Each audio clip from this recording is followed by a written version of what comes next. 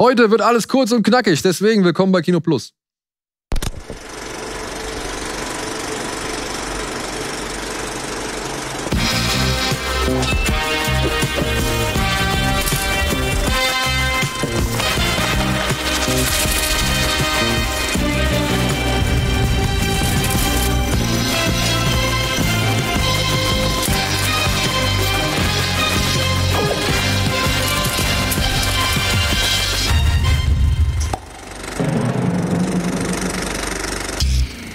Einen wunderschönen guten Tag, meine sehr verehrten Damen und Herren. Herzlich willkommen zu einer neuen Ausgabe Kino Plus. Heute in einem absoluten Kurzformat. Denn, wie ich ja bereits letzte Woche schon erklärt habe, befinde ich mich eigentlich zum jetzigen Zeitpunkt schon, also wenn ihr das seht, im Urlaub. Und diese Folge haben wir aber trotzdem noch schnell kurz vorher aufgezeichnet, denn ich glaube, am ersten Tag meines Urlaubes startet nämlich Joker 2 in den deutschen Kinos. Und noch ein anderer fantastischer Animationsfilm namens Der wilde Roboter. Und dann gibt es noch einen Animationsfilm in der nächsten Woche, auf den möchte ich hinweisen, weil da kommt nämlich auch keine reguläre Folge Kino Plus, sondern ein Spezial mit Hennis Bender und Thilo Gose Johann über unterschätzte Sequels. Aber das erkläre ich alles in der letzten Folge, deswegen sage ich erstmal Hallo an meine heutigen Gäste. Anne, Timo und Johanna Schlogger, Entschuldigung, haben sich heute hier mit mir kurz nochmal zusammengefunden, denn wir haben heute gerade frisch Joker wie sagt man es jetzt? Folie à deux. Folie à deux. Folie. Folie. Folie à deux. Okay. Folie à deux haben wir heute frisch vor, ich glaube, drei oder vier Stunden gesehen und über den wollen wir auf jeden Fall einmal reden, damit ihr auch von uns einen Eindruck erhaltet. Und gleichzeitig wollen wir auch über den anderen Film äh, reden, der heute startet, Unbedingt. weil der großartig ist. Und weil das alles, ja, kurz und knackig sein soll heute, geht es gar nicht groß um andere Themen. Also es geht nur um diese drei Filme über die, also es gibt drei Filme, über die wir heute reden wollen. Und ja, ich muss es einmal kurz sagen, ich weiß, Maggie Smith, John Ashton und Chris Christopherson und Peter Zwegert, wie ich heute auch noch erfahren Peter habe. Auch Was? Ja.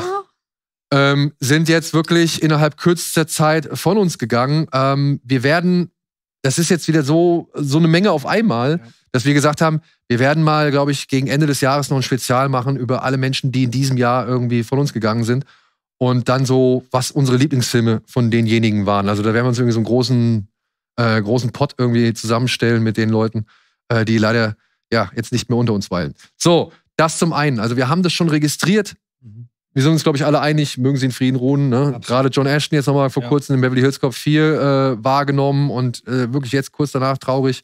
Chris Christopherson, Country-Legende, Schauspiellegende, großartige Filme gemacht. Bringt mir den Kopf von Alfredo Garcia, unbedingt mal anschauen. Und wenn ihr Blade schon zigmal gesehen habt. und ja, Maggie Smith, muss man ja auch nichts mehr zu sagen, oder? Ja. Professor McGonagall. Zur Not, wenn man. Also, ein, auf wenn man sie vorher noch nicht gesehen hat, aber ja, Leiche zum Dessert zum Beispiel war sie auch mit dabei. hatte so einen geilen Humor. Ja. Und ich habe ich hab jetzt so tausende Videos natürlich gesehen, wie man das halt immer so, äh, kommt ja immer so eine Flut im Internet danach. Und ähm, die besten sind wirklich auch die, wo, wo Ian McKellen sie impressioniert quasi in den verschiedenen Talkshows, als sie halt irgendwie Situationen vom Oscar und so nacherzählt und so. Also das klingt alles immer total ähm, faszinierend. Also die scheint eine richtig faszinierende Frau gewesen zu sein. Ja, und hat wirklich schauspielerisch echt einige ja. Fußabdrücke hinterlassen. Und ja, natürlich, ne, durch Harry Potter wahrscheinlich für viele undenkbar mit der Kindheit oder in einem bestimmten Abschnitt des Lebens verbunden. Dementsprechend mögen sie alle in Frieden ruhen. So, wollen wir direkt über die Filme reden? Ja, aber ich weiß, was ihr alle zuletzt gesehen habt. Also wirklich den allerletzten ja, gut, ja. Einen. In dem Sinne ja schon. Ja. Deswegen, das skippen wir heute mal eben zugunsten davon, dass wir wirklich möglichst viel Zeit für eben die anderen Filme haben, vor allem eben für Joker 2, weil das ja nun mal der größte Filmstart und wahrscheinlich der meist erwartetste Filmstart diese Woche sein wird. Aber vorher möchte ich auf einen Film hinweisen, der startet nächste Woche. Er heißt Transformers One. Und ich hatte wirklich, ey, mir war der Film eigentlich völlig Wumpe. Mir war der echt egal. Also Transformers, ne, ich bin ein ganz großer Fan der Zeichentrickserie. Ich bin mit der G1, sagt man so schön, aufgewachsen, mit der ersten Zeichentrickserie. Und deswegen, die haben bei mir einen riesengroßen Platz im Herzen. Deswegen war ich auch vom ersten Transformers immer noch so ein bisschen begeistert und mhm, ein bisschen milde gestimmt. Alles danach wurde wirklich äh, mit Füßen getreten, wenn nicht sogar noch schlimmer. Und naja, dann kam Bumblebee, da dachte ich, oh, jetzt geht's mal wieder in die richtige Richtung. Das fand ich echt einen charmanten Film. aber mit äh, hier Rise of the Beasts oder wie er hieß oder Beast Wars äh, ist die Hoffnung auch wieder begraben worden und einzig allein durch dieses Crossover, was so angekündigt worden ist zwischen Transformers und G.I. Joe, Mhm. hat so ein bisschen Lust gemacht auf Trash, auf Hochglanz-Trash. Jetzt kommt Transformers One, der erste animierte, computeranimierte Film, so richtig. Und ich habe mir gedacht, ja, komm, den guck, guckst ihn dir mal an. Äh, es wird wahrscheinlich so ein typisches, weiß ich nicht, Samstagmorgen Kinderspektakel werden. So, hab dann auch meinen Sohn mit zur Pressevorführung nehmen dürfen. Und ja, hier geht's quasi um die Vorgeschichte der bisherigen Transformers-Geschichte. Wir erleben quasi Cybertron äh, zu einer Zeit, als es noch zwei verschiedene Sorten von Transformers gab, nämlich die, die sich transformieren können und eben die, die sich nicht transformieren können und die eigentlich nur so Zuarbeiterer sind für die, die sich eben transformieren können. Und zu diesen zählen dann hier diese, oh, ich habe die Namen vergessen, die 16 und ob, wie heißt der? Äh, Orion Pax. Orion Pax. Orion Pax und die 16 sind halt nicht transformierende und Arbeiter und müssen halt irgendwie da ihr Dasein fristen, träumen aber von Größerem und wollen dementsprechend bei so einem Rett Wettrennen teilnehmen, ähm, als eben nicht transformierbare. Und ja, schaffen es da so ein bisschen auf sich aufmerksam zu machen, weshalb sie in die Gunst des, des Anführers geraten und dadurch in eine Falle. Und plötzlich sind sie an der Oberfläche des Planeten, von der man nicht so wirklich viel weiß, und sie kommen hinter ein Geheimnis, was sie eigentlich niemals hätten erfahren dürfen. Und das Ganze stellt ihre Freundschaft auf eine arge Probe. Mhm. Ich möchte eigentlich nicht viel mehr erzählen, weil es eigentlich echt äh, interessant ist, was da erzählt wird. Zum einen fand ich interessant, dass man hier eine Geschichte hat, die es vorher wohl noch nie irgendwie großartig, also ich kannte sie nicht. Ja, ja. Ich wusste nichts von einem Zustand der Untransformierten so. Dann gibt es hier eine Freundschaft, die meiner Ansicht nach echt ganz gut auf den Weg gebracht wird. Gut beziehungs- aufgebaut, finde ich auch. ja, die wird gut aufgebaut. Und dann eben halt auch, was daraus wird, muss ich sagen, hat mich überraschend gefesselt. Es gibt eine Menge Action, die ist schnell, die ist richtig wild und fast-paced und was weiß ich. Die Grafik hält nicht mit den ganz oberen Animationsstudios mit, aber ist schon in Ordnung, ja. Sah vernünftig aus so, ja. Und dann muss ich sagen, als Transformers-Fan, ich saß am Ende da und ich habe drei Momente, mindestens drei Momente gedacht, gehabt, wo ich gedacht habe, Alter, leck mich am Arsch. Das ist ja mal wirklich geil. Also es ist wirklich geil. Es gibt einen Moment, da werden zwei Hände voneinander gelöst und mein kleiner Sohn von zehn Jahren, der überhaupt noch keine großen Berührungspunkte hat mit Transformers, der weiß, Papa kennt das, Papa hat das irgendwie früher auch geguckt, Papa ist Fan von sowas. Und ich, ja, der halt echt eine ganze Ecke älter ist, wir sitzen in demselben Moment da, uns beiden geht die Hand an den Mund und wir denken nur, ach du Scheiße, wir sprechen es laut aus, ach Ja. du Scheiße. Beide, Ja. unisono, im gleichen Moment. Und dann dachte ich mir, Alter, das kann nicht wahr sein. Also das ist, das ist, das war so überraschend gut für einen Film, von dem ich wirklich nichts erwartet habe, wo ich gedacht habe, das ist Quengelware, Mhm. das ist irgendwie ein so ein eher hingeschluderter Animationsfilm so, der halt so ein bisschen das Franchise am Leben erhalten soll, nicht mehr, mehr Aufgaben hat als vielleicht Spielzeug verkaufen so. Mhm. Habe ich gedacht, das kann nicht wahr sein. Ich war wirklich hin und weg. Ich hatte, und danach gab es noch zwei Momente, wo ich wirklich einfach Gänsehaut hatte. Gänsehaut. Und das ist für mich eine Überraschung des Jahres. Transformers One. Also ich habe den Film nicht gesehen, aber mir beide Trailer angeguckt, die es auf Deutsch gerade gibt. Und ich fand, da hast du wieder diesen Humor, den würde ich jetzt mal lapidar den Lego-Movies auch zuordnen. Also es ist so ein, ich musste, das ist jetzt kein äh, hohes Niveau an Humor, aber schon beim Trailer musste ich kichern. Also ich fand, es ist so, sind so Gags, die funktionieren. Ja, dabei ist es gar nicht so groß humorlastig. Nee, witzig Ja, aber er die Trailer sind schon so ich sagen. geschnitten. Und dann die grundlegende Geschichte von den zwei Figuren, das ist ja total tragisch. Und Ja, die, ja. die dann endlich mal so erzählt zu bekommen mit der Vorgeschichte, ist ja total cool, weil das ja in den Animationsfilmen, die wir jetzt alle kennen, wurde es ja einfach so vorausgesetzt. Und dann hier zu mit, mitzubekommen, was ich ja nur als Außenstehender weiß, weil wie gesagt, den Film nicht gesehen, wie die zwei, was die so dann, was ein Keil zwischen die treibt, das finde ich eigentlich Ey. ziemlich cool. Das fand ich alles. Das war alles Ja, plausibel, Total stimmig. nachvollziehbar, stimmig, ja. Also, dauert ein bisschen. Also mir ging es so, dass ich so ein- eine gute halbe Stunde brauchte, um reinzukommen, weil es doch sehr Standard auch war. Aber es wie bei dir, deswegen, ich saß hier gerade, also für die Podcast-Hörer, Timo hat ganz viel genickt. Auch ich hatte zweimal Gänsehaut und das waren so Momente, falls ihr das im Kino kennt, ihr sprecht was mit, was ihr noch nicht gesehen habt. Also es kommen halt Sätze, die ihr so erwartet und dann denkst du, dann kriegst du so eine Elefantenpelle, das war so Das krass. ist doch was Schlechtes eigentlich, wenn ein Satz Nee. kommt, den du schon erwartest. nee, nee, nee, nein, nee. nein, nein, nein, anders. Es war dieses, so ein Payoff-Moment, wo du halt, also es ist nicht so, hier Godzilla 98, wo du sagst, so, die gehen durch den Madison Square Garden und dann sagst du zu deinem Nachbarn, die haben gleich bestimmt nicht genug Sprengstoff. Und dann kommt der Franzose um die Ecke und als nächstes sagt er, wir haben nicht genug Sprengstoff. Das sind Momente, wo du denkst, ja, danke, war klar. das waren jetzt zwei Momente, wo ich sagen muss, Alter, ich habe die mitgesprochen und wirklich, die, die Hühner, das Hühnerfell fing an. Das war Also so nur, mal zum, nur mal so als Vergleich. Ich weiß genau, was du meinst. Damals bei Endgame, als, als Thanos da steht und sagt, ich bin unaus- unausweichlich. Und ich saß da und ich wusste, er sagt, ich bin Iron Man. Er Ja. sagt, ich bin Iron Man und ich war so, wow. Ah, verstehe ich ja. Okay, also Ja. auch Fanservice dann, so ein bisschen. Ja, also äh, ich bin ja noch weniger Fan als du wahrscheinlich, also weil ich mich an die Animationsserie nur noch rudimentär erinnern kann, aber trotzdem hast du die ganze Zeit das Gefühl, dass da sind so ein paar Memberberries drin. Mhm. Also ich glaube, Aber nicht so ersten- viel. Erstens das und zweitens, ey, also auf Deutsch schockt halt der Satz, da ist mehr drin, als das Auge sieht. Also ich war, das ist halt irgendwie so, das ist ja. More than meets the eye. ja, genau. Dann denkst du, jetzt habt ihr ihn dreimal in fünf Minuten gebracht. Ich verstehe es. Das ist alles in Ordnung, alles fein. War das der Slogan von den Transformers-Spielfiguren damals? Nein, das ist, Nein, der, das das ist ist so der Song. Transformers, More than meets the eye. Ah, okay, danke. Oder beziehungsweise Robots in the Sky Ja. und dann Disguise und dann More than meets the eye. Ja, okay.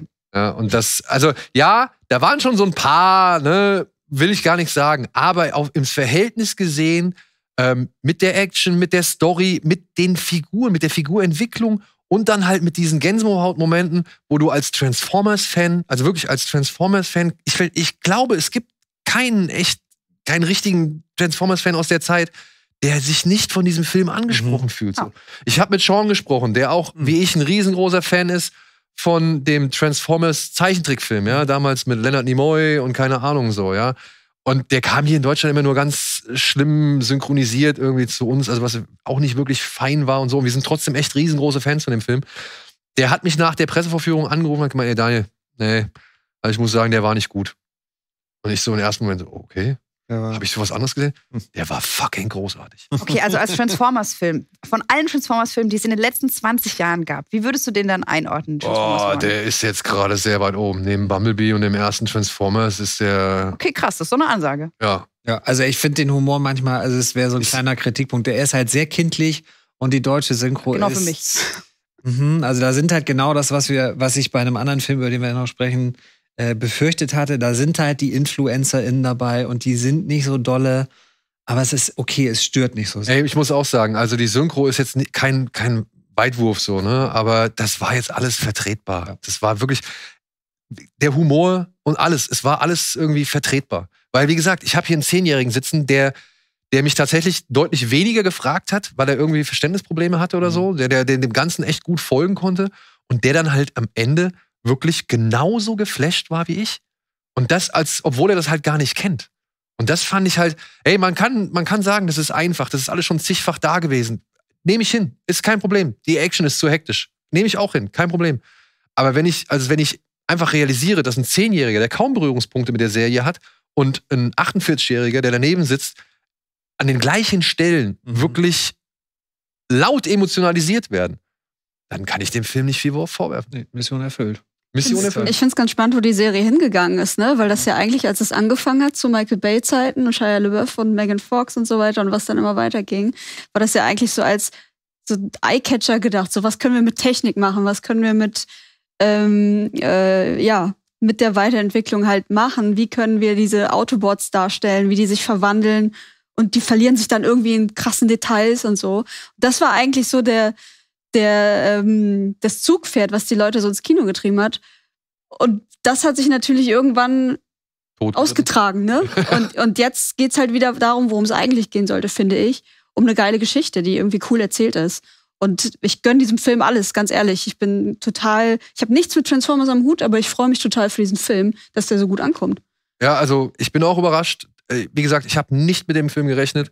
Ich habe jetzt gesehen, das ist der Regisseur von Toy Story 4. Mhm. Hm. Und da muss man halt auch mal sagen, okay, er hat aus Toy Story auch nochmal einen Film rausgeholt, der überraschend gelungen war so. Und jetzt hat er aus Transformers meiner Ansicht nach einen Film gemacht, der nochmal echt überraschend gelungen war.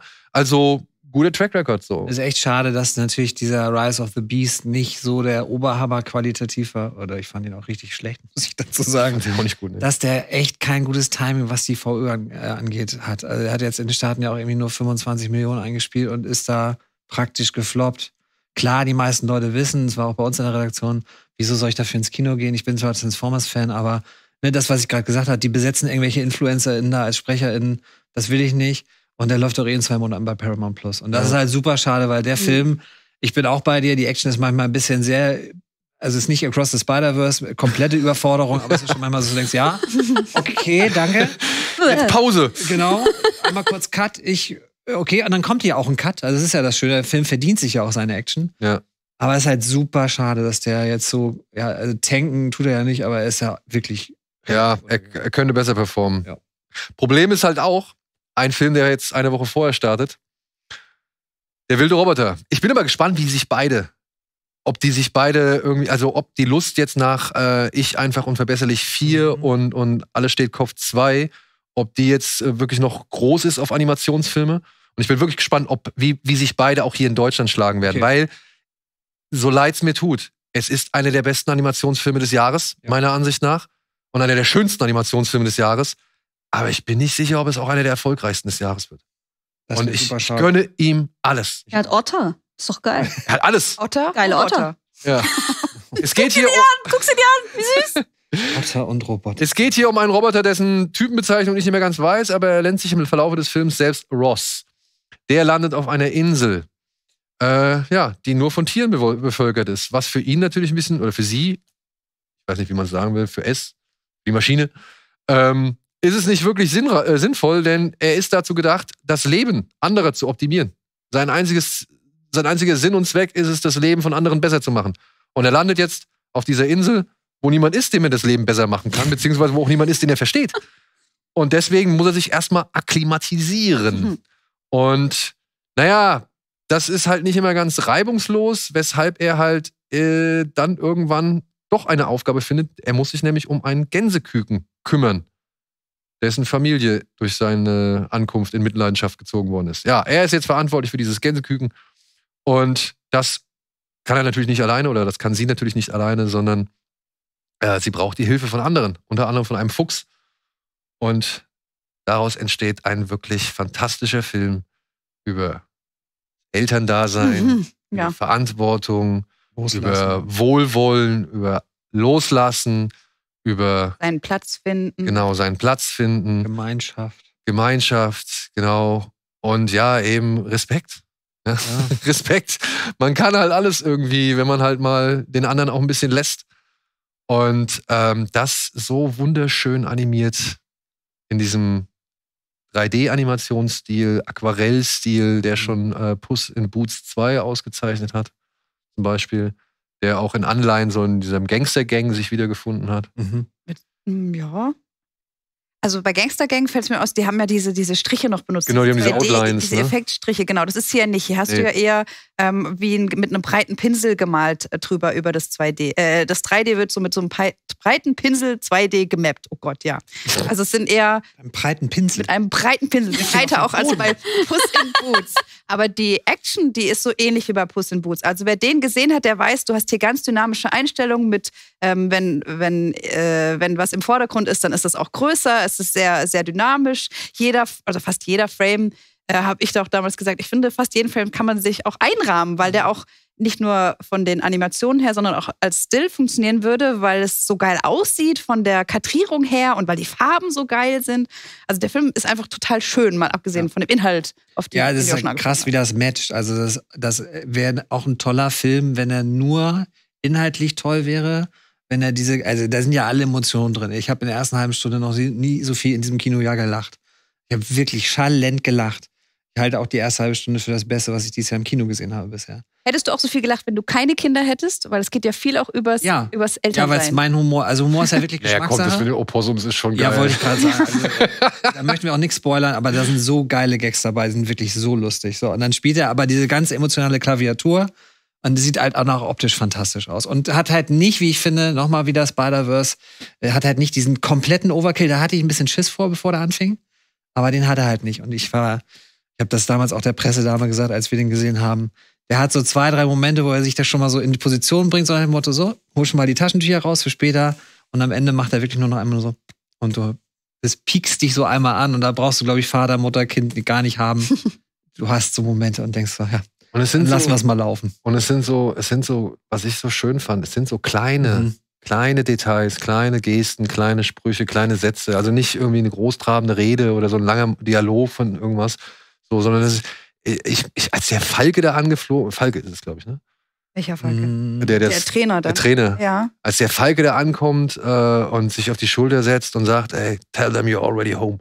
So, ich konnte nicht mehr. Ich war, ich war wirklich, das war, das war, ich fand, es war alles so wundervoll aufeinander abgestimmt.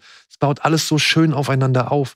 Und ja, ey, von mir aus, es ist hier und da auch manipulativ oder emotionalisierend durch Musik und keine Ahnung, will ich gar nicht irgendwie abstreiten. Aber das ist auch so ein Film, wo ich sage, da lasse ich mich gern von emotionalisieren. Ja, also klar, also wie du gesagt hast, da sind Sprüche drin, das sind Kalendersprüche. Die könnten total kitschig oder klischeehaft sein, aber sie funktionieren hier in Sie ihren sind halt Rahmen. nicht von drin. Vin Diesel, der an einem Auto im Ärmeltop liegt. Da Das funktioniert's ist- vielleicht aber auch ganz halt gut. nicht so gut. Ja. Also, das muss man echt Sicher? mal sagen. Ja, also du hast die Klischeesprüche hier, du hast diese wirklich hochtrabende orchestrale Musik teilweise, die wirklich äh, sehr groß ist. Dann hast du die äh, die Geschichte, von der du, wie du gesagt hast, äh, Timo, du weißt schon, wo die dann hingehen will und da geht sie auch hin.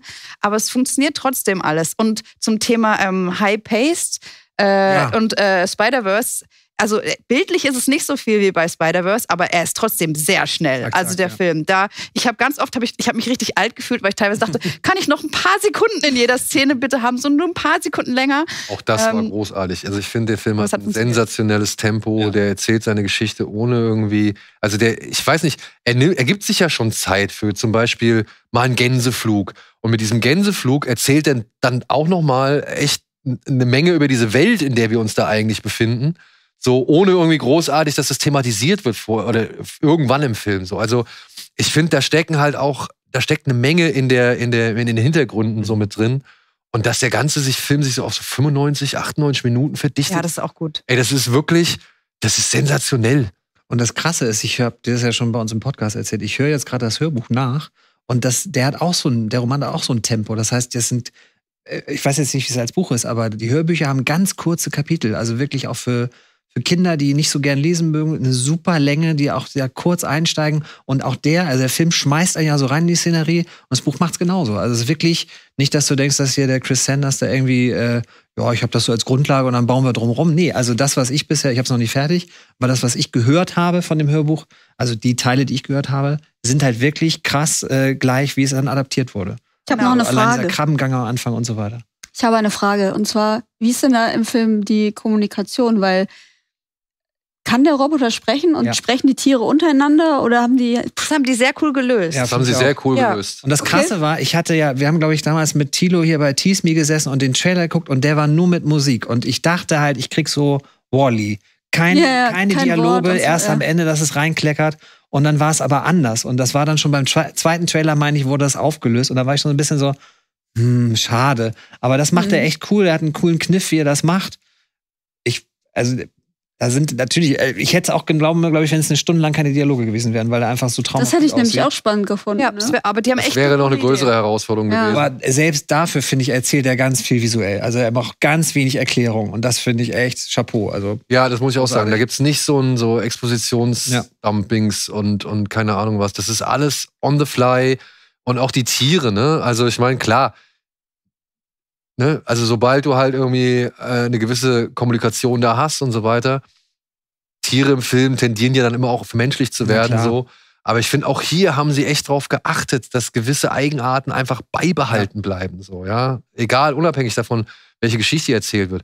Und ich dachte halt auch, irgendwann, ich weiß nicht, und das fand ich halt so überraschend. Irgendwann dachte ich halt, ey, das wird jetzt irgendwie ein zweiter raus aus dem Teich. Mhm. So, ja, also die, die, die, die Zielsetzung des Films war, nachdem Ross dieses Gänseküken findet, für mich eine ganz andere. Beziehungsweise habe ich gedacht, okay, das geht in ganz andere Bahnen. Und selbst damit wäre ich fein gewesen, weil es sah alles so schick aus und es war auch alles irgendwie charmant irgendwie von den, von den Dialogen her oder von, den, von, den, äh, von der Geschichte her.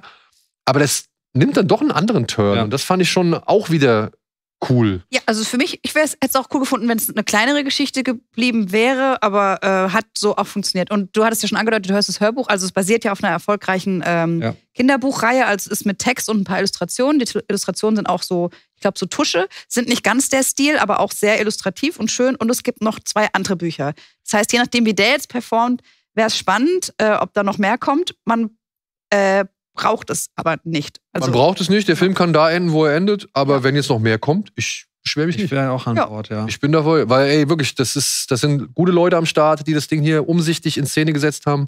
Und er kommt bei den Kritiken und bei den Festivals ja bisher super gut an. Ich wäre echt gespannt. halt auch an den Kinokassen. Ja, ich habe jetzt ja schon die ersten Zahlen aus Amerika, war ja irgendwie knapp 35 Millionen für ein Wochenende ist okay, aber ist jetzt auch nicht herausragend gut. Aber vielleicht, ich meine, Elemental hat auch So ein Long Run, ja, das, das hoffe ich für den. Und ich bin wirklich gespannt, wann die Filmbubble auch versucht, diesen Film halt malig zu machen, weil das ist ja irgendwie. In den letzten Jahren haben wir so ein paar Filme, die irgendwie über den grünen Klee gelobt werden und ich vermute, dass irgendwann jemand kommt und sagt, das ist so. Ey, Na klar, ey, das ist, ich habe schon gesagt, wir haben gesagt, das ist by the book und das kann man auch, wenn man ganz narzisstisch oder ganz, ganz neutral als nicht irgendwie emotional gepackter, kann man auch sagen, ah, es ist aber sehr konzipiert. Also sehr, sehr, also, aber ich vergleiche das immer mit einem guten, mit einem guten Koch, dem kannst du auch die geilsten Zutaten geben, wenn er nicht die perfekte Abmischung schafft, schmeckt es dir am Ende nicht so gut. Und Ja, und eine finde- Pizza Margarita ist auch konzipiert. ja, Oder ein ja, und sie schmeckt trotzdem, genau. Schmeckt Aber das hier ist jetzt keine Pizza Margarita, sondern da sind einfach alle Komponenten, also die Komponenten stimmen und dann ist es aber auch noch perfekt abgemischt. Ja. Ich fand den toll. Deswegen, also von uns gibt es eine Empfehlung. Auf jeden Fall. Absolut. Gut, aber ja. Konzipiert, ein gutes Stichwort, beziehungsweise auf Nummer sicher gehen. Hätte man jetzt auch bei dem nächsten Film. Äh, Joker, Folie, Folie deux. Uli. Uli. Folie à deux. Joker, Joker 2. Joker 2, genau. Das ist Joker 2. Aber, äh, um es mal hier gleich vorweg zu sagen, äh, Todd Phillips spielt alles andere als safe mit dieser Nummer hier. Und das wird wahrscheinlich auch ein großer Punkt der Diskussion werden. Ich finde es gut, weil wir, ich musste ja direkt weg nach dem Kino. Das heißt, wir haben noch gar nicht drüber gesprochen. Ich bin echt Ja, das gespannt, wird spannend. was äh, ihr Ja. alle so dazu sagt. Also, wir versuchen es jetzt erstmal so handlungsarm wie möglich. Der Film setzt Wie der Film. Ja, der Film setzt nach den Ereignissen des ersten Teils an. Arthur Fleck ist jetzt quasi in der Arkham-Anstalt, Gefängnis, Schrägstrich, Halbklappen. Asylum. Er ist im Gefängnis, nicht im man noch Klapse Asylum. sagen. Nee, er ist Ja, nicht in der Klapse, er ist im Gefängnis. Das, ja, aber Arkham, das Asylum Arkham ist schon Asylum, eigentlich. eine Eigentlich, ja. Also, eigentlich. Hm. Aber was ist schon eigentlich bei diesem Ich, es, es muss, eine sein, denn äh, er trifft ja dort auf Harley Quinn und genau. die hat sich ja einweisen. auf die Kommentare. Ja, aber es Wurde ist, ja ja, es ist ja nicht die Originalstory. Da sind sie ja in Arkham. Es, da ist sie ja eigentlich Psychotherapeutin in Arkham Asylum. mhm. Und aber hier geht's doch auch ein, ist doch ein großes Thema auch. Äh, ist er, wie heißt das? Ähm, Zurechnungsfähig. ist er oder? zurechnungsfähig, danke oder nicht? Und wenn er nicht zurechnungsfähig wird, würde er ja dann erst in die in Arkham Asylum kommen. So habe ich es verstanden. Naja, aber sie laufen ja von Block A zu Block B. Ja, und diese Insel stimmt, das kann eigentlich nur. also, Also, Block A ist so eine Art Knast und Block B ist so eine Art äh, Heilanstalt, beziehungsweise. Hochsicherheitstrakt. Ja, Genau, ob das so eine gute Idee ist, in Nicht-Filmrealität, schreibt uns. Also Filmrealität. Okay. Realität. Darüber können wir gleich diskutieren. das wird Ja. sehr So, anstrengend. also, Arthur ist in Block A von Arkham und Harley ist in Block B. Die beiden begegnen sich, ähm, als, als, Har äh, als, als Arthur mal wieder seine Anwältin irgendwie konsultiert, beziehungsweise mit seiner Anwältin spricht, denn diese Anwältin verteidigt ihn vor einem Gerichtsprozess, möchte eigentlich erwirken, dass er als gespaltene Persönlichkeit durchgeht, um eben in eine Anstalt eingewiesen zu werden und eben nicht in den Knast. Aber während dieses Prozesses lernt er eben halt Harley Quinn kennen und die beiden verlieben sich ineinander. Und das ähm, führt halt zu Komplikationen. Ich glaube, es ist hilfreich zu wissen, was Folie à deux bedeutet. Das ist eine Mhm. Erkrankung, in der jemand in den Wahn eines anderen mit einsteigt, der eigentlich gar nicht psychisch krank ist.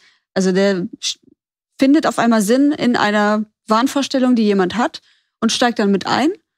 Und das ist, was dieser Film ja auch versucht zu erzählen, so, dass Harley Quinn eigentlich jemand ist, die, die hat, kommt aus gutem Hause, die hat studiert und findet aber aus irgendeinem Grund dann Gefallen an diesem Arthur Fleck oder eben diesem Joker-Typen und lässt sich dann auf diese Welt, die ihn umgibt, ein.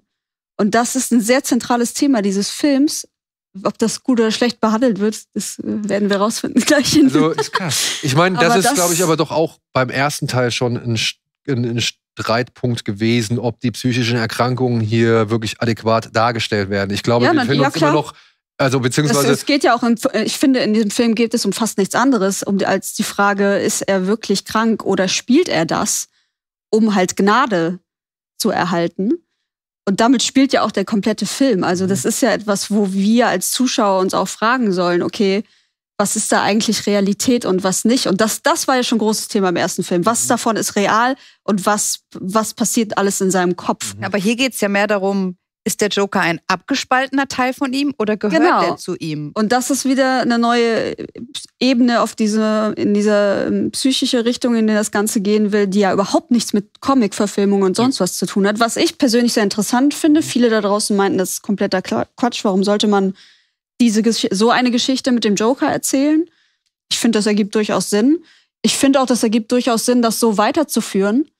Ähm, es ist nur ein bisschen langweilig. Oder? Also jetzt mal ein bisschen. jetzt, also man verfolgt eigentlich diese, diese Gerichtsverhandlung, fragt sich die ganze Zeit, okay, es gibt hier Anhaltspunkte, dass er das alles vortäuscht, aber da gibt's wiederum Anse- Anhaltspunkte, dass das wirklich echt ist, so dass er gar nichts dafür kann im Prinzip, sondern dass das irgendwie alles äh, seine Kindheit dazu geführt hat, dass sich da ein Teil seiner Person irgendwie abgespalten hat. Und dann fragt man sich halt die ganze Zeit, ja, okay, was stimmt, was nicht, wartet auf eine Auflösung und zwischendurch wird gesungen. Und dann sitzt du halt da und denkst dir, ja, okay, der Film wäre kürzer gewesen, würde nicht die ganze Zeit gesungen werden, das wäre ein Pluspunkt gewesen. Aber das ist bei ziemlich vielen Musicals der Fall. Ja, ja, Ja, aber du kannst zu. Ja, das na, ist kein richtiges Musical, das kommt auch noch dazu. Also dafür wird zu wenig gesungen tatsächlich dann auch. Ja, und ich musste zwischendrin, also es gab einen Song, wo ich dachte, ah, jetzt bin ich drin. Jetzt habe ich den Film verstanden, ich bin im, ich vibe mit, ähm, wenn es bei der Gerichtsverhandlung ist, weil da hatte ich so ein Chicago-Gefühl. Da Ja. dachte ich, okay, bei Chicago hat es funktioniert, du hast eine Gerichtsverhandlung und die Songs werden eingebunden und Chicago ist ein toller Film, da funktioniert das toll für mich. Das Genau, und da war ein Song hier, wo ich dachte, hier funktioniert das auch. Aber ich war sofort nach dem Song wieder draußen. Hm. Also es war nur der eine, wo er in der Gerichtsverhandlung ähm, so sich den Stuhl hinstellt und sich so vorstellt. Als, also da hat es irgendwie gepasst, weil da war klar, das ist das echte Leben und jetzt wird ein Song eingebunden, um irgendwas zu unterstreichen. Und das, Also auch ein Song, der was erzählt. Ja, ja. Ja, Ja. Das waren ja auch keine eigenen Songs, sondern es waren fremde Songs, die dann auch nicht ganz gesungen wurden, sondern immer nur ähm, ein Drittel davon oder die Hälfte davon.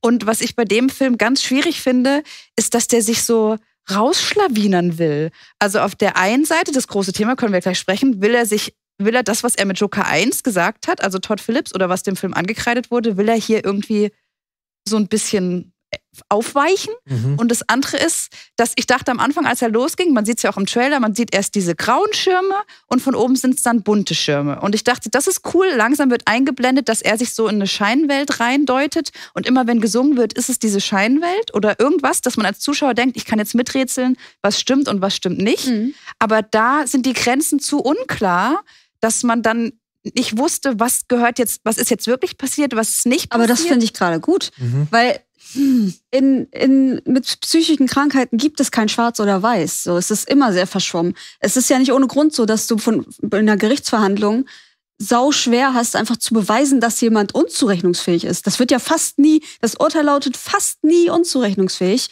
weil das einfach, du kannst das einfach nicht wirklich bestimmen. Du kannst nicht wirklich voraussagen, inwieweit eine Person manipulativ das vorgibt zu sein, was du halt glauben sollst oder nicht. Und ich finde, dieser Film zeigt das total schön, dass das eigentlich fast nicht möglich ist, so. Und ich, weiß nicht, warum der Film uns das sagen will. warum das das Thema ist, warum das das Thema eines Joker-Films ist. Aber das ist es meiner Meinung nach. Und ich finde das als jemand, der selber irgendwie betroffen ist und sich so ein bisschen damit auskennt, Mhm. finde ich das eigentlich ganz cool, dass das so erzählt wird. Wobei, ich würde sagen, also es gibt zwei Punkte, wo ich glaube, dass Todd Phillips was dazu aussagen möchte. Der eine ist, den kann ich jetzt schon, sag ich mal, recht spoilerfrei quasi thematisieren. Das ist ja zum Beispiel der ganze, also der Film besteht ja schon zu einem Großteil aus dieser Gerichtsverhandlung. Also die Gerichtsverhandlung ist so das dominierende, sage ich mal, Handlungselement Mhm. dieses Films. Plus die Liebe, die dann halt durch die Musical-Szenen vor allem, sage ich mal, zum Ausdruck kommt. Ähm, ich glaube, die Gerichtsverhandlung soll zumindest insofern den diese Inselglorifizierung des ersten Films relativieren oder beziehungsweise vielleicht auch rechtfer äh, äh, vielleicht auch aufweichen, wie du es Mhm. gesagt hast, oder eben halt so ein bisschen wieder ins rechte Re- Licht rücken, weil man halt ja sieht, wie viele Kräfte auf Arthur einwirken und sie dann auch quasi für ihre Zwecke missbrauchen. Also ich, Beziehungsweise, dass wir, also es geht nicht mehr so selbst und das ist ja das, was, was Arthur auch im Film die ganze Zeit rausstellt, keinem geht es ja wirklich um ihn selbst. Es geht Ja, ja, allen genau. Leuten anderen, also allen anderen geht es ja nur mal um irgendwas anders. Es geht um das Spektakel. So. Genau, das es geht um das halt Spektakel, Coole es geht um auch. das Politikum, es geht um vielleicht das Ventil, das er sein kann, so. Oder es geht halt um das Übel, mit dem man quasi irgendwie was brandmarken möchte, um zu sagen, ey, so geht's nicht mehr weiter und so weiter. Jeder hat da seine Ja. eigene Agenda, jeder hat da seine eigene Position, also jeder hat sein eigenes Ziel, das er irgendwie verfolgt. Und Arthur steckt mittendrin und sagt halt, aber keiner hört mir mal wirklich zu. Keiner will irgendwie. Ist es nicht spannend zum ersten Teil, weil es dann ja wirklich im ersten Teil war es für ihn ja so eine Art, der ganze Film baut darauf auf, dass keiner ihn sieht und dann hat er seine Joker-Momente und fühlt sich dann gesehen. Und fühlt sich gesehen. Und, Und, das jetzt hier wird gerade gesagt, selbst jetzt, wo du dich sehen, sehen sie nicht dich, sondern sie sehen nur das Spektakel. Sie Mhm. sehen nur das Entertainment, was ja hier auch in dem zweiten Teil ein großer, äh, großer Punkt Aber das ist ja ein Riesenpunkt unserer Gesellschaft. Das ist ja das. Also Ja. es ist ja auch nicht, kommt nicht von ungefähr, dass irgendwie sehr viele Szenen an den Prozess von Ted Bundy zum Beispiel auch erinnern, der ja auch in den 70ern spielt, wie das ja auch in den 70ern spielt und so. Also da sind ganz viele Parallelen auch, dass irgendwie eine Meute von, von Groupies da im Gerichtssaal rumhocken und den total abfeiern, wie im echten Leben halt auch. Die auch so schön auf zwei Seiten. Ne? Du hast einmal Ja. quasi die anscheinend Familienangehörigen von Opfern aus dem Genau, und dann die Fans Und auf dann der anderen. genau, die, die, die Groupies und, und Hippies und die sich da auch, die teilweise so ein bisschen so Manson-Vibes haben, also nicht Marilyn, sondern Charles, die, wo du dann denkst, okay, mach, gib dem noch einen Bart, dann ist das irgendwie auch Charles Manson. Was ich dann noch spannend finde, ist, dass er aber auch genau wie der erste Teil so Dinge mit dem Holzhammer macht. Staatliche Obrigkeit, wie die hier dargestellt wird, die Wärter, also Brandon Gleason spielt ja einen davon, sind alle gefühlt abgrundtief böse. Harvey Dent, der hier auftaucht, trieft vor Arroganz. Also ich habe das nach dem Kino gesagt, für mich nur einen unsympathischeren Staatsanwalt in den letzten Kinojahren, der Anwalt oder Staatsanwalt aus Anatomie eines Falls. Ja. Und du denkst, was für ein Arschloch. halt doch mal die Fresse. Und das hatte ich bei Harvey Dent. Der, der kommt so arrogant und so Oh, gelackt rüber. Und du denkst halt so, hä, das ist doch aber der Good Guy sonst immer in den Comics. Ja, und dann kurz haben wir noch so eine. Anspielung auf was, was ihn dann erwarten wird. Da dachte ich auch kurz, brauchen wir das in diesem Film? Ist das cool? Freuen sich die Leute darüber? Da dachte ich dann so, oh, da hätte ich mich wieder fast gefreut, wenn es nicht Harvey Dent gewesen wäre. Also hätte ich es nicht gebraucht, dass der da auch noch reingequetscht ach, wird. ich mein, Aber okay, das ist Mäkeln auf was weiß ich für ein Niveau. Erstmal, äh, ich fand es cool, Anne, diese, dass es wirklich eine graue, dass es grau durchmischt ist, die psychischen Krankheiten, das finde ich einen coolen Punkt. Also das ist wirklich ähm, interessant, das gefällt mir Mhm. auch. Aber Und zu der Ted Bundy-Sache, das sagt er ja auch irgendwann zu, ähm, zu Harley, war, du könntest mir auch einfach Briefe schreiben. Und dass da Figuren zu Idolen hättest mir Briefe heran schreiben können. So Ja, also, Schreiben also, können, was genau, Entschuldigung. mit mir? dass Figuren zu Idolen hervorgehoben werden, dass sie losgelöst von ihrer Persönlichkeit irgendwas darstellen, was sie dann eigentlich überhaupt gar nicht mehr sind. Das ist ja auch ein Thema des Voll. Films. Und damit greift ja, Ja. auch die Kritik äh, zum, zum ersten dann eben wieder Genau. auf. Aber ich habe so ein bisschen das Gefühl, dass er hier so sagt, auch mit diesem Song aus, wie heißt der, The Bandwagon, der Film? Bandwagon, ja. Dieses It's All Entertainment oder so ja genau. It's, dass er uns quasi als Zuschauer sagen will, die wir die Diskussion mit den ersten mitbekommen haben, hey, regt euch mal ab, es ist doch alles nur Unterhaltung. It's all fun and games, ja, okay. Ja. Ja, also ich muss eine Sache sagen, ich, wir wissen ja nur, dass das wirklich unzuverlässiges Erzählen ist an Teil 1. Du weißt nie, was ist richtig, was ist real, was passiert nur in Arthurs Kopf. Und ich fand es gar nicht so ambivalent dargestellt. Also ich hat- hatte immer das Gefühl, wenn man, wenn andere in Arthur versuchen oder ihn quasi deuten und seine Verhalten, über sein Verhalten urteilen und ihm auch klar machen, was so seine Vergangenheit angeht, dann ging er ja immer in eine innere Immigration und hat sich auch akustisch wurde das dann mit Musik untermalt, dass der rausging aus sich selber. Und deswegen fand ich so diese Frage, faked er das eigentlich oder versucht er da noch rauszukommen, fand ich gar nicht so entscheidend und auch überhaupt nicht spannend. Weil ich immer wieder das Gefühl hatte, dass all die Sachen, die Phillips im ersten Teil aufgebaut hat, dieses, was ist real, was ist nicht real, ich fand das hier schon relativ klar immer markiert, was Realität und was nicht Realität war. Also man kann jetzt auch billig sagen, alle Gesangsnummern waren halt nicht real. Nee, ja, eindeutig nicht, weil irgendwann sagen sie ja, ja, das war doch die, die gesungen hat beim Aus, bei irgendwas, was passiert in dem Film. Und dann Genau. dachte ich wieder, okay, ich dachte, es wäre irreal, aber es ist ja anscheinend real gewesen. also nicht alles, ne? Weil der Gesang mit Harley zusammen, der erste, nachdem, Richtig? nachdem sie rausrennen. Aber ich ähm, sag mal, alles, was die gute alte Musical-Show-Nummer auch sein sollte, wo man auch das Gefühl hatte, das dass. Phillips halt Bock hatte, aber das Talent ist halt, müssen wir müssen wir mal ein Fragezeichen dran machen, aber da hatte er Lust, ein Musical zu inszenieren. Und da waren schon halt Nummern dabei. Du hattest diese schöne Hocker-Szene beschrieben, wo du das Gefühl hast, okay, das ist jetzt aber nicht Realität, sondern das stellt sich Arthur im Kopf vor. Wobei ich, ich, ich finde, ich weiß es nicht, ich bin da so ein bisschen, ich finde, Antje hat einen coolen Punkt nach dem Kino gesagt. Ähm, ich finde halt, die Musical-Nummern sind eigentlich keine richtigen Musical-Nummern. Mhm. Also wenn du ein richtiges Musical machen willst, dann machst du ein Musical. Ja. Und das war halt kein Musical. Das waren irgendwelche, weiß nicht, halb Gesangs-, halb Sprachperformances mit ein bisschen Bühnendekoration. So. Also es hält sich arg in Grenzen. Die aber, Punkt für beide, also dass Lady Gaga singen kann, das ist nun keine Überraschung.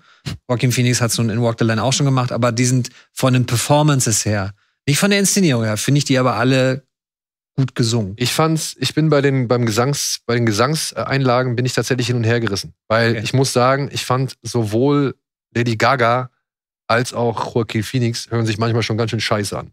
Fandest du? Ja, ich fand diese eine, also Lady Gaga steht einmal irgendwie so draußen vor dem Gerichtsgebäude und singt dann nochmal so einen kurzen Moment für sich alleine, Mhm. wo ich mir gedacht habe, nee, das, das klingt nicht cool. Also das, das, wohl. ey, das mag vielleicht vom Ton her alles richtig getroffen sein. Keine Ahnung. Ich, bin- also, ey, da will ich mich jetzt gar nicht drüber streiten.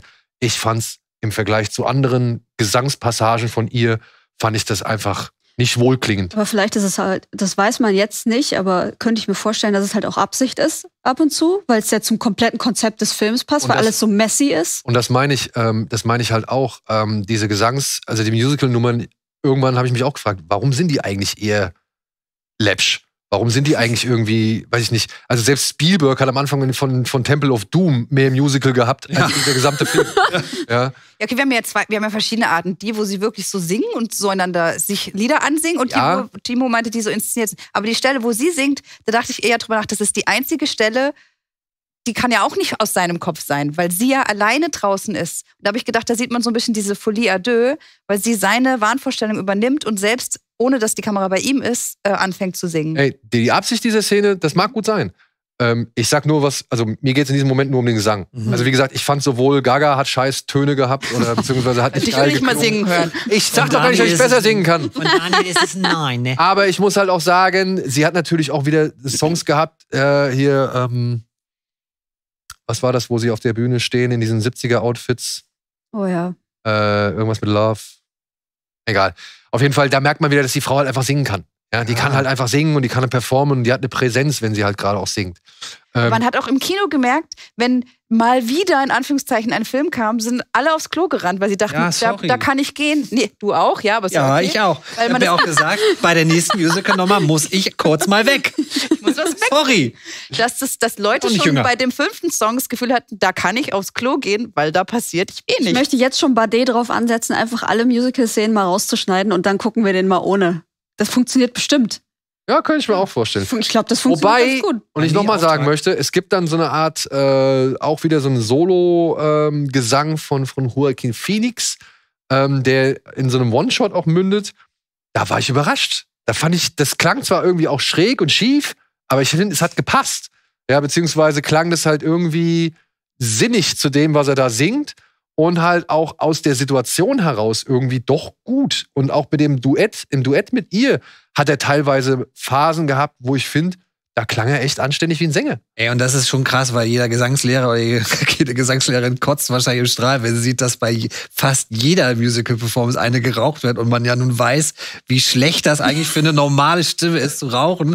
Aber es ist natürlich, machen wir uns nichts vor, einige, äh, Britney Spears hat ja auch geraucht, damit es ein bisschen kratziger Lady Gaga klingt. raucht auch, also abseits von. Wer? Lady Gaga, Lady Gaga raucht auch raucht. abseits Ah, des Films. Okay. Ja. Ja. Und das klingt dann halt, also manchmal, ich habe ja auch manchmal das Gefühl, ich hatte hier den längsten Raucherwerbespot aller Zeiten. Also 134 Minuten und es, Es ist wird wieder in geraucht Take- in Filmen. Genau, es ist Aber nicht auch nur die so Bösen, es cool. rauchen wieder alle. Auch hier so cool, dass man sieht, auch hat er im ersten Teil auch, dass er nie abascht. Ihm ist es egal, Ja, was mit der Asche passiert. Und sie macht das dann auch irgendwann im Vor allem, Film. ich hatte auch den Eindruck, es sind deutlich echtere Zigaretten als die üblichen Zigaretten, die man im Film raucht. Mhm. Also man kann Fake-Zigaretten im Film schon teilweise Mhm. leicht erkennen, wie die halt abbröseln oder wie die sich halt runterbrennen so. Aber hier hatte ich das Gefühl, dass Phoenix halt einfach mal ja, bei jedem Take noch zwei Schachteln nebenan liegen gehabt hat. Man So. muss Kopfschmerzen gehabt haben. Ja, ohne- glaub weil ich er aber ja auch, Wirklich ey. sich wieder in diese, ich will es gar nicht Joker-Performance, aber wie der sich wieder hat runtergehungert. Ey, Und was ist das hier? Seine, seine linke Schulter, also von uns aus gesehen. Ahnung. Macht er das irgendwie absichtlich so raus? Macht er das absichtlich oder steht die so wirklich einfach raus? so raus? Ich glaube, der ist einfach so dünn, dass die so rausstehen. Aber das sah ungesund aus. Ja, Ja. das sieht alles ungesund aus. Also die echte leichte Bale-Maschinist-Vibes. Also, Ja, Nur schwer. kurz, bevor wir jetzt darauf nochmal zu sprechen kommen. Ich wollte einfach sagen, ich fand den Punkt, den Antje gesagt hat, spannend. Es geht hier um eine Entmystifizierung des Jokers und dementsprechend sind auch die Musical-Szenen eigentlich eher schäbig. Mhm. Ja, also nicht glamourös, nicht irgendwie groß aufgeblasen, nicht mit 50.000 Tänzern wie bei, keine Ahnung, RRR oder sonst irgendwo. so, ja. Also, das ist alles relativ, ich will jetzt, also im eigentlichen Sinne, armselig. Mhm. So. Ja, also nicht, dass es scheiße aussieht. Das sieht ja geil aus. Also ich will ja nicht sagen, dass die Kamera und die, die, das Licht und so, dass es schlecht aussieht, sondern die Musical-Szenen machen meiner Ansicht nach nicht viel her, eben Mhm. im Einklang damit, diesen Joker zu entmystifizieren, Ja. eben nicht zu diesem Leid, zu dieser Leitfigur der Revolution zu machen oder sonst für irgendwelche Ungehörten oder Abgehängten, sondern halt eben ähm, als einen wirklich traurigen Menschen. Ja, die Frage ist halt, ist es nicht vielleicht ein bisschen too much Opferrolle, in die er ihr dir diesen Arthur Fleck da reinpackt? Also, das ist so ein Eindruck, den ich am Ende hatte, wo ich gedacht habe, naja, er hat aber trotzdem Leute umgebracht und er Ja. hatte trotzdem Spaß an der einen aber oder den, anderen würde ich Ermordung. entgegensetzen, ich weiß nicht, ob es so ein Spoiler ist, aber es gibt ja eine, ich versuche kryptisch. Es gibt ja eine Szene mit einem Zeugen, Ja, an die musste ich auch sofort wo denken. du ja schon schlucken musst. Und Ja. wo du auch merkst, dass Arthur auch zumindest hat man das Gefühl, kurzzeitig mal registriert, oh ja, scheiße, das ist wirklich krass, was ich da gemacht habe. Und das ist das- natürlich lächer, äh, wieder ins Lächerliche gezogen. Und das ist das, was mich so ein bisschen an diesem Film auch, ich sag jetzt mal, ratlos bis mh, nicht ganz so zufrieden zurücklässt. Aber das ist so wieder die Sache, wo ich halt auch entscheiden muss, ist es das, was ich mir wünsche? Kann ich das wirklich einhergehen? Also kann ich das wirklich äh, als Kritik hinnehmen, wenn der Film das halt, sag ich mal, sich dafür anders entscheidet? Aber ich dachte halt, es geht halt irgendwie doch auf die Figur und eben das personifizierte Chaos zu, Mhm. das wir halt aus den bisherigen Filmen kennen. Der Joker, der halt genießt, dass alle Welt um ihn herum in, in Wallung gerät. So. Aber dafür fand ich gut, dass man davon eigentlich relativ wenig mitkriegt. Mhm. Also ich fand es gut, dass man es alles aus seiner abgeschotteten Welt mitbekommt. Ja, also ja. es gibt ja äh, Medien, über die nur gesprochen wird, die er aber nicht zu Gesicht bekommt. Wir kriegen immer nur kurze, also es ist ja nicht so ein Gegenschnitt aus, wie ist die Welt draußen und wie ist es bei ihm drin, sondern das fand ich gut an dem Film, dass es nur so aus seiner kleinen Welt alles erzählt wird. Und dann kommt eben Harley Quinn dazu und erweitert das für ihn ein bisschen. Das war alles nachvollziehbar aus seiner Sicht. Aber es sind ja schon eine Menge Leute, die ihm da quasi Informationen geben, Ja. die man, die er, wie auch wir, falsch verstehen können oder halt äh, nach unserem Gusto auslegen. Ne? Und Da haben wir, haben wir vorhin nicht kurz auch ähm, Show and Tell, Show Don't Tell äh, kritisiert bei irgendeinem Film, dass der uns zu viel sagt. Das hatte ich hier manchmal auch, dass mir zu viel erklärt wird. Dass sie sagen, oh, wenn du nicht fünf Leute umgebracht hättest, dann würdest du auch hier in diesem Ding sitzen. Ah, danke, dass du es mir nochmal erklärst. Und später zeigt uns der Film das doch sowieso. Warum muss uns denn alles, oh, du hast Make-up mitgebracht. Ja, und dann, das reicht doch, Syndrom, ja. das, das Make-up zu zeigen, anstatt zu sagen, alles zu erklären, was da passiert. Das hat mich in dem Film auch ein bisschen gestört. Ja. Aber ich gebe ihm einfach wirklich die Eier, dass er sich da nicht so leicht macht, wie. Also er hätte den Film deutlich Gefällig. mehr an den, an den Vorgänger anlehnen können, deutlich äh, stärker einfach auf den, Vor, auf, den, auf dem Vorgänger weiter aufbauen können. Und das macht er halt eben nicht. Und ähm, ich denke, also ich werde mir den Film auf jeden Fall nochmal anschauen. Ich finde ihn ein bisschen zu lang, aber das Mhm. geht einher eben mit der Tatsache, es ist halt so ein Jukebox-Musical, beziehungsweise es sind halt Musical-Szenen enthalten, die sich zwar ein bisschen random anfühlen, aber ich glaube, auf den zweiten Blick dann doch noch ein paar Details offenbaren, wie eben halt auch, dass er halt, er nimmt ja am Ende ein Musical, ähm, der Joker singt am Ende quasi einen Song, der aus einem Musical stammt, namens, das kenne ich halt auch nicht, ähm, The Roar of Grease Paint, The Smell of the Crowd, das Brüllen der Schminke, der Geruch der Menge Mhm. in dem halt dieser Song The Joker vorkommt und wo es halt heißt, dass da immer einer ist, der andere zum Lachen bringt, aber keiner rafft, dass der bei dem irgendwas auch kaputt gegangen ist. So. Mhm. Also die Songs sprechen eigentlich die Sprache der Figuren jeweils aus. So Mhm. kann man jetzt auch Show Don't Tell nennen. Stimmt. Aber ich glaube schon, auch mit Überlegungen, also dass, dass diese Songs mit Überlegungen gewählt worden sind und da sind verschiedene, sind Bee Gees war, glaube ich, mit dabei und, und so ein paar andere Sachen. Billy Joel, glaube ich, war mit dabei. Sinatra. Sinatra natürlich. Ja, Ähm, schon Ja, auch hier wieder muss, können wir vielleicht als Nicht-Native-Speaker den Film gar nicht so aufnehmen, wir, weil wir die Songs nicht so verstehen. Wir waren ja auch in der, wir haben den Film ja auch auf Originalsprache gesehen mit Untertiteln, aber die Songs wurden nicht untergetitelt. und das habe ich mich gefragt, warum nicht? Also, genau, aber ich glaube auch, wie du sagst, es ist total wichtig, die, die Songs zu verstehen. zu, wir, wir haben sie ja schon verstanden, wir verstehen ja Englisch, aber sie wirklich zu begreifen, was Ja. da für eine Geschichte erzählt wird und was da für Worte gewählt werden, ist, Mhm. glaube ich, auch relevant. Vielleicht können wir das als Native Speaker gar nicht so aufgreifen, wie er gedacht ist. Und da bin ich auch gespannt, wie man das jetzt im Deutschen macht, ob man die Songs einfach auf Englisch stehen lässt oder ob man die untertitelt, Ich würde schon. während der Rest halt auf Deutsch ist, weil ich glaube, die singen die Deutschen die doch nicht ein.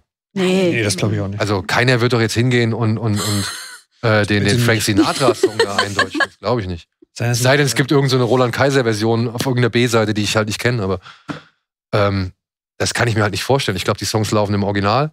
Ja. Und ich weiß nicht, ob das bei allen so hilfreich ist, beziehungsweise ob wirklich dann alle verstehen, was da gesungen wird, dass das eigentlich relevant ist für entweder die jeweilige Szene oder eben halt für den Charakter an sich. Aber es ist ja total, also Aber eigentlich auch Ja. nicht, oder? aber Weil wenn man Fragen mal, also doch wenn man, beantwortet durch einen Song tatsächlich. aber wenn man sich das auf die Länge des Films anguckt, dann hat man doch schon das Gefühl zum Thema Langeweile im Sinne von nicht uninteressant, sondern einfach langeweilend, Mhm. dass viel einfach wiederholt wird. Ja. Und Ja. das passiert in diesen Songs ja auch. Es geht immer wieder darum, oh, wir haben uns endlich gefunden. Harley und, und, und, und äh, Arthur sind jetzt endlich zusammen. Arthur hat endlich eine Freundin. So. Das kommt, das ist so oft, das ist Sogar so oft diesmal.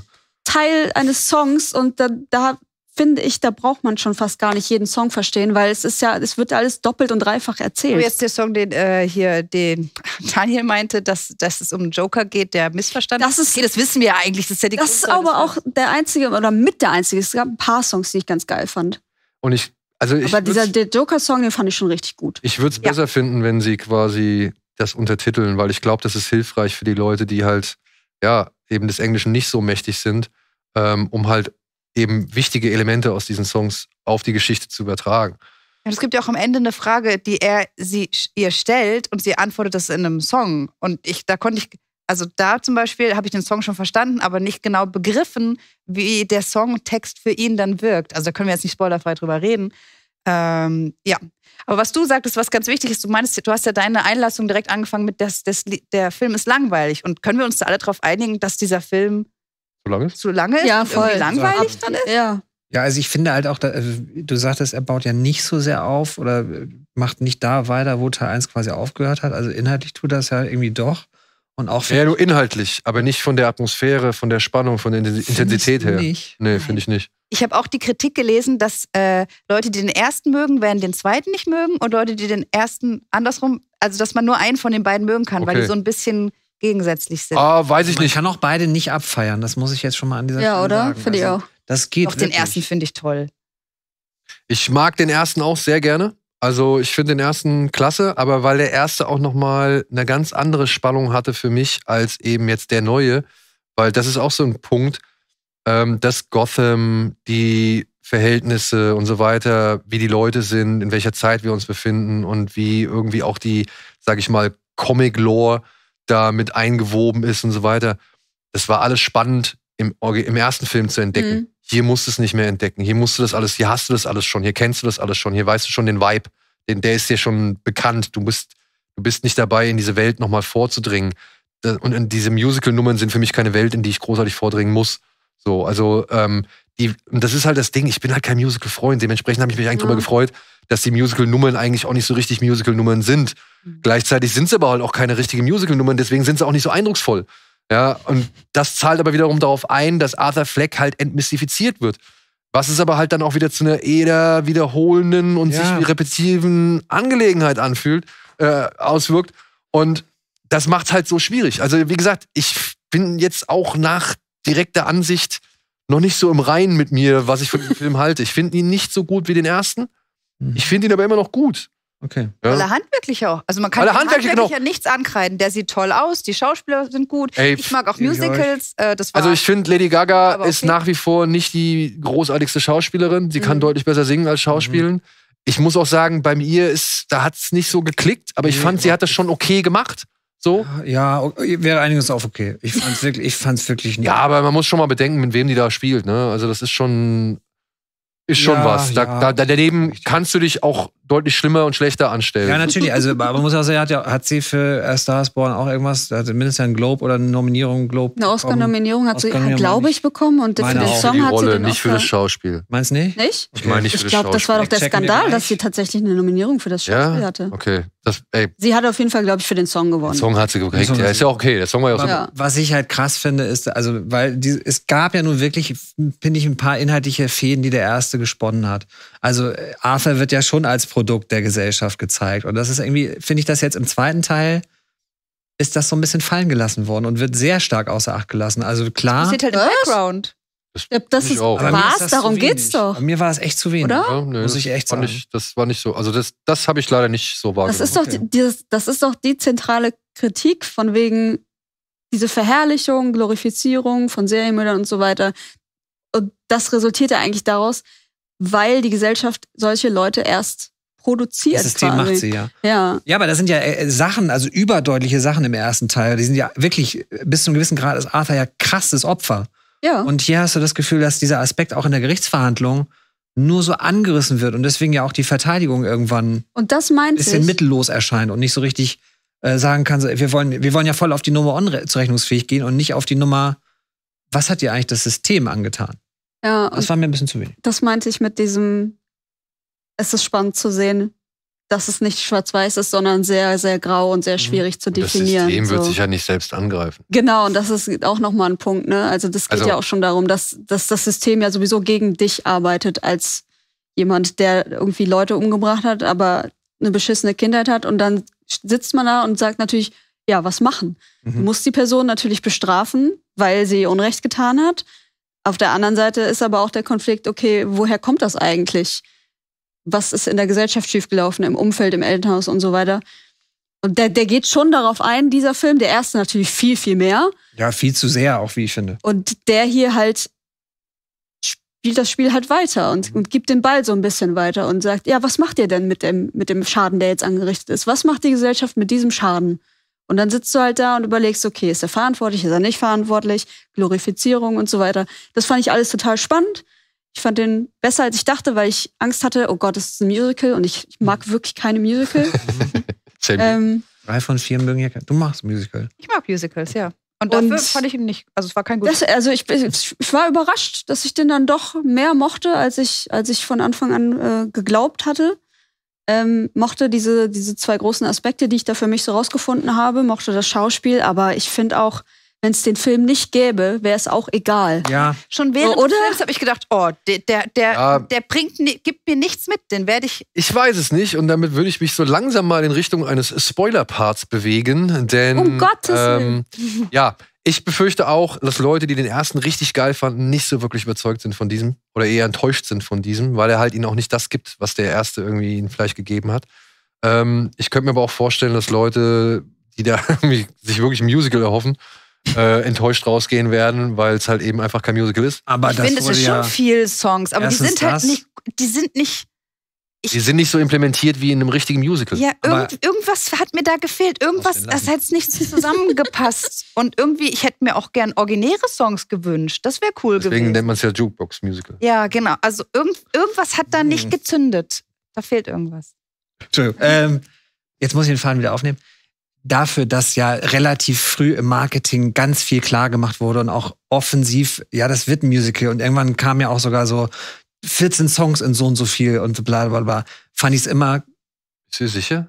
Also ich habe irgendwie Ja. dann später bei den Junkets und so immer mitbekommen, wie sie Die dieses sagen aber alles, nee, ist kein Musical. genau, wie ja, sie halt das dieses ist ja Wort. Musical peinlich sie vermeiden. ja auch, Sie haben es ja auch im Marketing in den Trailern versucht, also erfolgreich versteckt.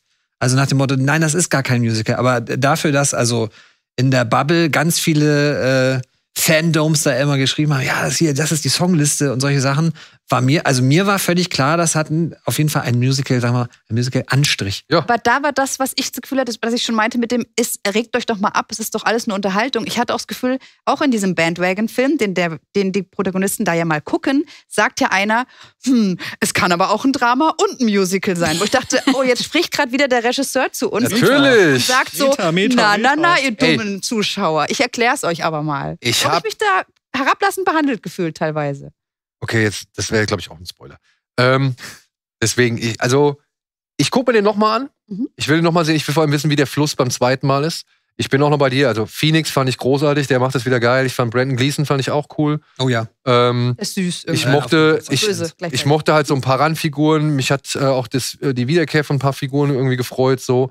Ähm, ansonsten Licht, Bild, das, das, das, also der, der, der, ja, wie soll man sagen, der Schmierfilm, der da irgendwie drauf ist, so, oder den man irgendwie, die, die, die Atmosphäre, die man in dieser Anstalt irgendwie spüren kann, das hat mir alles echt sehr, sehr gut der gefallen. One-Shot oder Ja. die Die Plansequenz. Zweien, die Ja. Zweien, die da waren, die fand ich auch gut. Also inszenatorisch war das auf jeden Fall schon echt gut.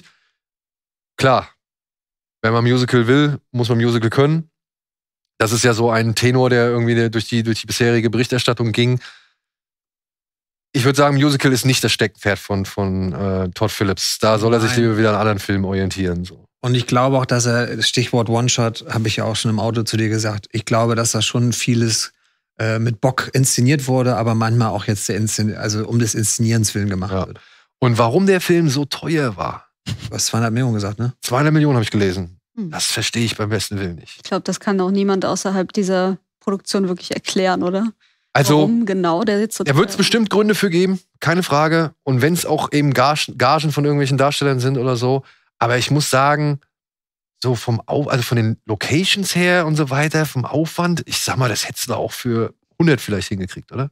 Vielleicht. Wenn es 200 Millionen waren, ne? Also Also das ich, ist auch immer noch das Doppelte. Ich glaube, der erste hat 50 gekostet, ne? 75. Oder 75, na gut. Also wenn du da aber gleich sagst, komm, wir ballern dreifach rein, finde ich, sieht man das Dreifache nicht auf der Leinwand. nicht unbedingt. Und wenn ich dann noch äh, im Advertising sehe, lebt es in IMAX, müsste ich nur sagen, brauche ich jetzt Arkham in IMAX? Nö. Nö, also so bildgewaltig ist er nicht. Also in den kleineren Settings, da sind geile Bilder drin, das will ich gar nicht abstreiten. Aber so ein richtiges Gute Bilder. IMAX-Bild, keine Ahnung. Äh, Die, ich, ich mag halt, äh, wie sie mit Licht umgehen. Genau. Mhm. Das ist eine ziemlich große Sache in dem Film und ich liebe sowas einfach.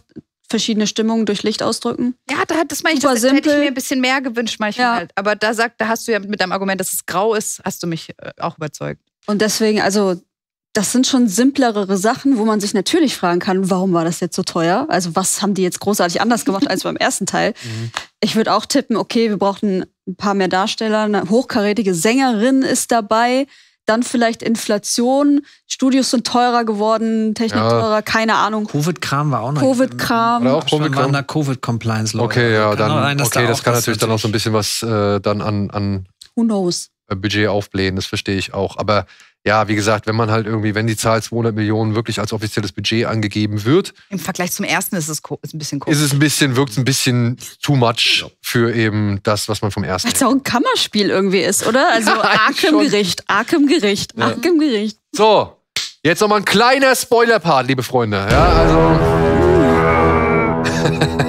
Hans Zimmer ist wieder auf die Orgel gefallen.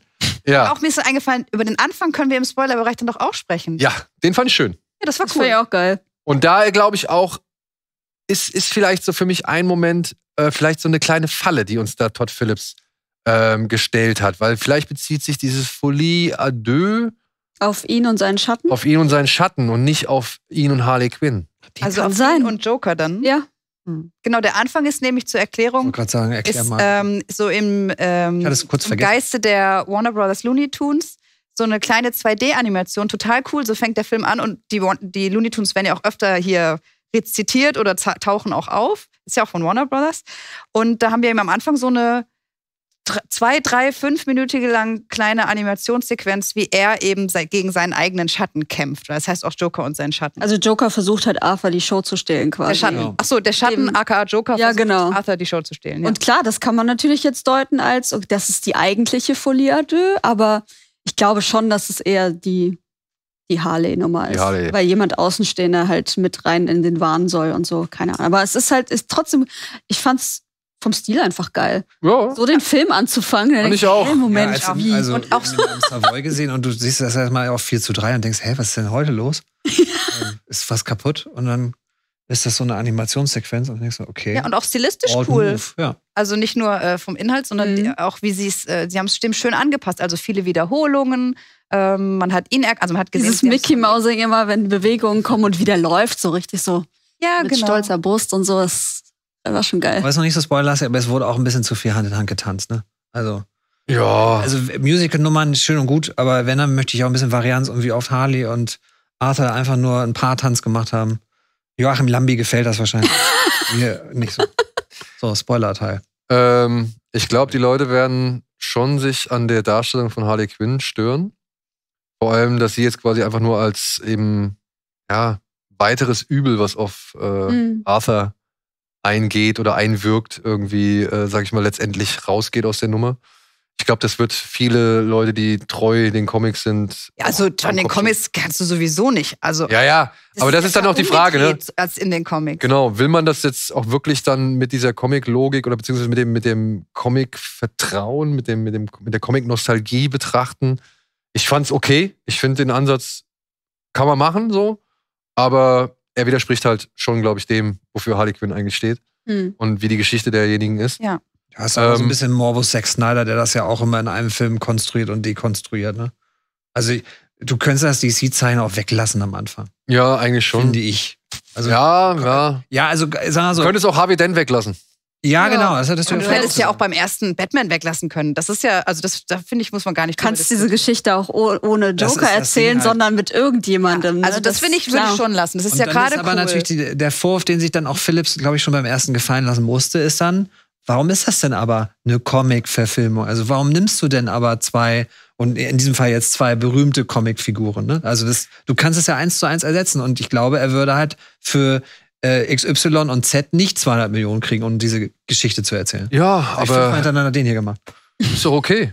Also ich meine, der erste Teil war schon ein Risiko und dafür hat er schon eine Menge Geld bekommen. Mhm. Der ist natürlich noch größeres Risiko und ich glaube, ich bin mal gespannt, was der macht. Der erste Teil hat über eine Milliarde Ja. eingespielt. Ja. Und Das ist auch der Grund, warum es einen zweiten Teil gibt. Das ja, ich und ha Harley Quinn ist immer noch die dritterfolgreichste Comicfigur im, äh, von DC nach Batman und Superman. Oder war sie zumindest vor fünf Jahren, als ich meine, als ich das mal nachgeguckt habe. Ja, aber sie werden sie halt nicht kriegen, ne? Und wenn du halt da mit der Erwartung reingehst, ich gucke mir jetzt hier die nächste Margot Robbie an, nee. das, da bist du enttäuscht.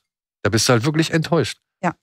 Ja. Deswegen frage ich mich ja auch immer noch, was der Sinn und Zweck des Auftauchens der Harley Quinn war, weil sie verstärkt ja eigentlich nur, sie lässt den ja, wir sind ja im Spoilerteil, sie lässt den ja am Ende fallen, Das ist immer der Fall. weil er selber nicht mehr in dieser Fantasie drin ist, in, der, in die sie eingestiegen ist. So, sie er möchte hat halt den Joker und er will Ja, Arthur genau. sein. Er hat aber gesagt dann, ja, ich bin aber eigentlich Arthur. Und dann hat sie gesagt, ja, okay, dann finde ich dich jetzt scheiße. So, und das, das ist aber eigentlich auch nur ein weiterer Teil, ähm, finde ich, dieses Punkts der öffentlichen Wahrnehmung und Glorifizierung. Aber warum braucht es dafür einen extra Charakter, wenn der Film das doch sowieso schon macht? Naja, ich glaube, das Ding ist halt einfach, es ist ja jetzt auch nicht irgendwie ungewöhnlich, dass Frauen sich zu irgendwelchen Serienmördern oder Nee, das sonst war dieser Ted Bundy-Aspekt. äh, Ja, ja. hingezogen Ja, voll, fühlen, dass klar. irgendwelche Brieffreundschaften entstehen und sonst irgendwas. Es kommt demnächst noch ein Film ins Kino, der heißt Red Rooms. In Mhm. dem geht es um ein ähnliches Thema. Den kann ich auch sehr empfehlen. Also guckt euch den bitte an, falls ihr jetzt diesen Spoiler-Party gesehen habt. Aber nicht spoilen. Ich muss den noch. Nee, nee, aber, Okay. aber guckt euch den auf jeden Fall an. Ich fand den gut. Auch heiß. Ähm, ich fand ihn wirklich gut. Ähm, aber ja, das ist ja nichts Ungewöhnliches. Und ich Mhm. glaube, sie haben einfach gedacht, okay, ein Joker ist jetzt zur Galionsfigur der, des Aufstandes, des Widerstandes geworden, hat Menschen umgebracht, live im Fernsehen, was droht ihm? Er kommt in den Knast und ihm wird der Prozess gemacht. Wie kriegen wir jetzt eine Harley Quinn da rein? Und ich finde, dann ist es schon, sage ich mal, ein Motiv zu sagen, okay, Ja. wir haben hier eine Frau, die sich eben halt in den Wahn eines anderen reinsteigert, die irgendwie von eben ja, diesem Serienmörder besessen ist, von dieser, von dieser Chaosfigur oder was weiß ich so. Und dann aber den Film nach, danach zu benennen, nach diesem Phänomen zu benennen, aber darum geht's in dem Film eigentlich gar nicht so krass. Das finde Find ich auch, auch. komisch, Würdest oder? du sagen, dass es bei den Originalcomics eher darum geht, weil dann über, ist Joker überzeugt sie ja richtig davon. Sie, eine normale Frau, das zieht sie macht ja er ja auch richtig mit rein. Gewalt, oder? gerade sagen. ja, Ja, da, genau. da, da Hier kann er das nicht, weil der Joker statt, ja. von, vom ersten Teil ist ja kein, kein aktiver, starker Charakter, der jetzt jemand anderen Ja. So runterziehen könnte. Und ähm, würdest du dann sagen, dass der Film eigentlich weniger Folie à deux ist, als die Comic-Vorlage es eigentlich dann doch ist? Nö, der Film ist es, also der Film ist es schon. Also ihre Rolle ist es, finde ich. Sie lässt sich einweisen, um Ja, an ihn genau. ranzukommen. Ne? Ja, es ist Also, irgendwie realistisch? Nee, ist nicht realistisch. Nein, da- Und was ich das vorhin ist meinte, was ich nicht spoilern wollte, äh, sie behauptet ja oder sagt, sie sei von ihm schwanger. Und sie Mhm. treffen sich ja dann und er fragt, bist du jetzt schwanger von mir? Und sie antwortet in einem Lied.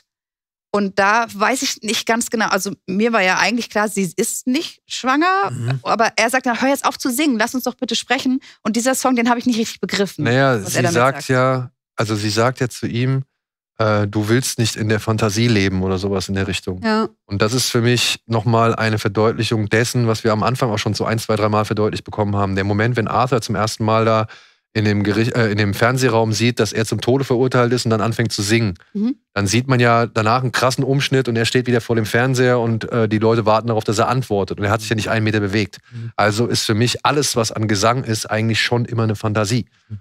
Und sie sagt ja die ganze Zeit, lass uns einen Berg bauen und so weiter. Und dadurch, dass sie halt singt und nicht mit ihm redet, ist sie gar nicht bereit dazu, sich auf ihn einzulassen, sondern nach wie vor will eigentlich nur die Fantasie. Sie will nur mit diesem Joker quasi das, das, das Ding der Unmöglichkeit schaffen. Anarchie. Äh, genau, die Anarchie, irgendwas, die Leute irgendwie vor den Kopf stoßen, die Welt in, ins Chaos stürzen. Was weiß ich so, ja. Also sie, sie, sie träumt von ihrem eigenen Ding und das ist für sie relevant. Und das würde ich sagen, spricht wieder eher für dieses Folie, Folie deux, Mhm. ähm, dass sie halt dann eben lieber in dem Wahn ist, als eben in der Realität. Und in der in den Realität Comics würde wäre das, re- in den reden. Comics ist es ja ein bisschen andersrum, da ist es ja eher Grooming sozusagen. Ja, genau, das, ist, Ja. das meine ich mir, das ist eigentlich, Ja, ganz- eigentlich umgedreht. Ja, oder sie, sie hat geantwortet, aber er hat mit seiner, wie auch immer die psychische Krankheit da dann jetzt äh, groß ist, hört sie dann aber singen, weil er die Antwort nicht verkraften würde. Aber dann wird, und er sagt zu ihr, hör auf, ich höre, egal, okay, da deute ich jetzt wieder Da irgendwas. kann man so viel, finde ich, Ja. rein- aber das finde ich auch irgendwie cool, so, dass man nicht so genau weiß. Und das sage ich auch über das eigentliche Ende, weil ähm, wir haben das, das Urteil der Gerichtsverhandlung haben wir nicht zu Ende gehört. Das heißt zwar schuldig, aber kommt er jetzt auf den elektrischen Stuhl, kommt er nicht auf den elektrischen Stuhl, das wissen wir nicht. Mhm. Und das ist der zweite Punkt, den Phillips da für mich irgendwie setzen möchte. Und der ist halt ein bisschen radikaler, weil er zum einen das Ende dieser Figur herbeiführt. Wir können ja ruhig spoilern hier. Ja, oder? wir sind im Spoilerpart. Voll im Spoilerbereich. Ja, er führt das Ende der Figur herbei und ich weiß nicht, ob die Leute in der Erwartung reingehen, den Joker alle, am das Ende. heißt, er wird, er wird umgebracht am Ja. Ende. Ja, und Also, das Ende dieser Figur. Ich weiß nicht, ob die Leute wirklich mit der Erwartung da reingehen, zu, also dass, dass der Joker am Ende blutend auf dem Boden äh, stirbt. So. Ähm, und dann habe ich mich halt gefragt, das war doch abgekartet. Das war doch halt kein, Mhm. kein, kein Zufall, dass der Typ halt einfach in diesem Flur war, sondern der hat den da gerufen, wer sollte ihn denn jetzt besuchen noch? Es will ja wahrscheinlich eh keiner mit ihm reden. Und das war quasi ein inszenierter Mord. Ja, Ja. weil man eben Weil vielleicht das Urteil nicht elektrischer Stuhl ist, sondern doch dieses, ich weiß nicht, wie es in Amerika heißt, hier würde man sagen Sicherheits, äh, Sicherheitsverwahrung. Lebensverwahrung, Sicherheitsverwahrung. Mhm. Unzurechnungsfähig, na, die haben ihn ja schuldig. Schuldig ist es Wir auf jeden erleben Fall. ja, ja. drei Schuldsprüche Mhm. äh, der Jury und dann merkst du ja auch wieder so einen Moment, Arthur hört gar nicht mehr richtig hin, weil er es nicht hören mag. Ich würde übrigens auch widersprechen. Nicht der Joker liegt blutend am Boden, sondern Arthur. Okay, es ist ja egal. Und der Die Joker ist übergesprungen in seinen Mörder, weil wir sehen Halloween ja, wir sehen ja, wie der, der ihn umbringt, sich dann hinten im Hintergrund mit der Scherbe, mit der er ihn umgebracht Ja. hat, oder mit sich dann die Lippen aufschneidet. Und jetzt sage ich mal so, Also ist auch egal, wer der Joker ist, Hauptsache das Idol oder das, das, das ja, die Figur lebt weiter. Ja. lebt weiter. Aber das war ja schon immer der Gag in den Comics. Ja. Da, das ist, die Joker ist eigentlich eine Figur. Das ist kein bestimmter Charakter, der steht für irgendwas. Ja, genau, für das Chaos. Eine Folie, Ja, nicht genau. Folie Für das. Eine Folie deux. Folie, oh. für das Unzähmbare oder keine Ahnung. Und ich fand das halt, dass er sich halt hier Folie, die, die, Ja. die Klinge reinpackt und das so lang zieht. Ob das jetzt ein direkter Verweis auf The Dark Knight Nee, ich auf den. Joker Dark Knight sein sollte oder nicht, aber zumindest ist es im Geiste dessen und man könnte jetzt einfach sagen, der Joker aus Dark Knight ist halt irgendein Joker. das Also, hat doch jeder, das hatte doch auch hier, Jack Nicholson hatte doch auch aufgeschnittene. Aber das hat er nicht selber gemacht. Er ist ja noch klassisch in Säure gefallen. nee, der hatte nichts aufgeschnitten. Der ist einfach nur in dieses äh, Access so Chemicals. verzerrt? Genau. Ja, der ist nur in dieses Access Chemicals Fass gefallen und Oh. äh, sah danach so aus. Mm. Heath Ledger hat sich die Namen gemacht. Danach, also so-. Wir wissen ja nicht Wobei, wirklich, genau, was das ist ja das Coole am Heath Ledger Joker. Wir wissen es nicht. Der eine Ja. sagt so, der andere sagt so. Genau, das ist aber. Ich sag mal so, Das Coole ist das Coole. er, er, er schon zweimal wurde halt angedeutet, dass diese Narben halt quasi mit Messern da rein, äh, mit, mit einer Klinge irgendwie im Mundwinkel entstanden ist. Und jetzt halt diesen Typ im Hintergrund zu sehen, der sich das auch noch zieht, fand ich irgendwie dann doch, ähm, ja, einen krassen Punkt. Und, und, und ein Punkt, der den Film vielleicht doch ein bisschen länger in Erinnerung hält, als ähm, wir jetzt irgendwie glauben, anhand eben der, eben, anhand vielleicht eben nicht dieses großen Entertainments, was der erste vielleicht geboten hat. Mhm. Also ich fand den ersten schon eine Runde entertainiger als eben den zweiten. Ja, da widersteht Ja. Langeweile. Und, Ja. und ich frage mich halt, will Phillips wirklich am Ende sagen, okay, wir haben keine Mittel und Wege, mit solchen Menschen umzugehen, deswegen lassen wir sie irgendwie aus dem Weg schaffen. Es könnte aber auch ein Oder es weiterer, ist einfach könnte Schicksal. ein weiterer Verweis sein, weil ja diverse echte, lebende Menschen auch im Knast umgebracht wurden von anderen. Also Leute, die in den Medien groß waren.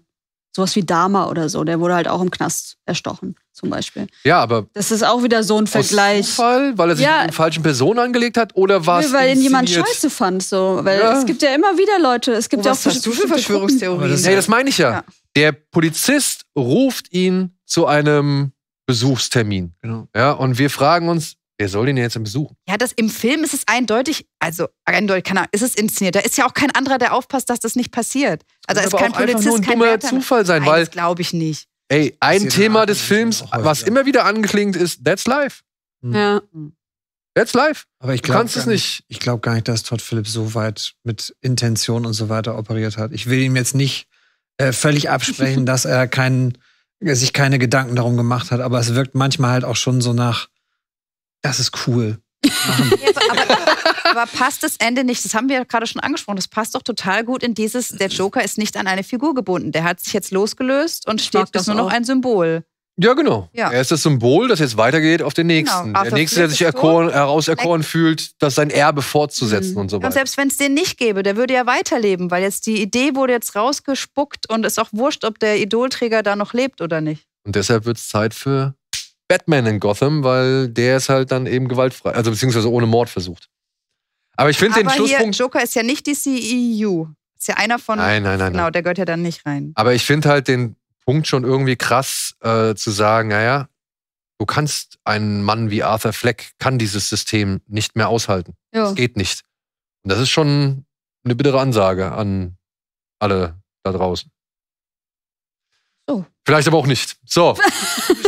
Vielleicht aber auch nicht. Ja, aber ich meine, Aber eigentlich hatten sie ihn ja, der Film spielt ja zwei Jahre nach dem ersten und sie hatten ihn ja für die zwei Jahre gu- gut ruhig gestellt.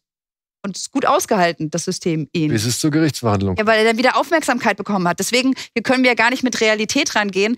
In einem echten Leben hätte doch niemals er so, niemals er so ein Podium bekommen bei der Gerichtsverhandlung. Er hätte niemals sich Haben wir, Leute, wir haben gerade über Ted Bundy gesprochen. Habt ihr mitbekommen, was da passiert? Der hat den Heiratsantrag Mhm. der Zeugin gemacht. Als, er hat sich selbst Und ich vertreten. meine, Okay. also bitte, Und- das Ja. gab's schon. also, okay. und es ist anderes. Ich will Die gar nicht, Welt. also ich will es nicht Die Welt wirklich, ist so.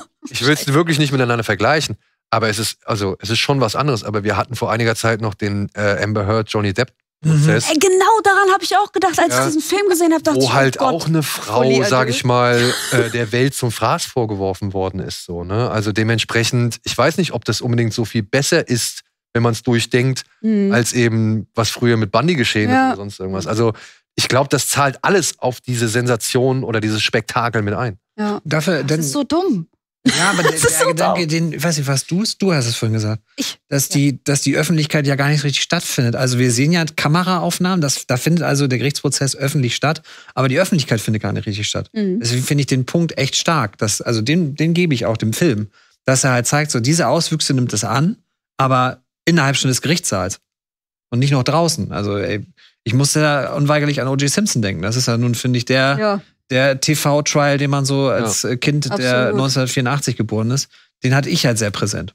Ich Und ganz kurz, die, Bo die Bombe, die dann explodiert, man ist ja absichtlich, dass man nicht weiß, wer die gelegt hat. wissen wir auch nicht. Das finde Also ich auch ganz gut. Also mir kam schon so vor, dass die beiden Leute, die den auch einsammeln, den Arthur, Nee, dass die sagen ja, die sagen wirklich, wir haben, da hat jemand das gemacht, was wir, was auch wir auch die machen Szenerie, wollten. Aber jemand anders hat die. So. Hat ja, die guck, das habe ich ganz anders Aber verstanden. ja, kann man ja erklären mit eben ja als. Ergebnis dieser ganzen. Ja, aber es war nicht Harley Quinn eindeutig, eindeutig und das ist auch ganz cool, dass das eigentlich die einfach. Frage beantwortet, warum Harley Quinn in diesem Film ist?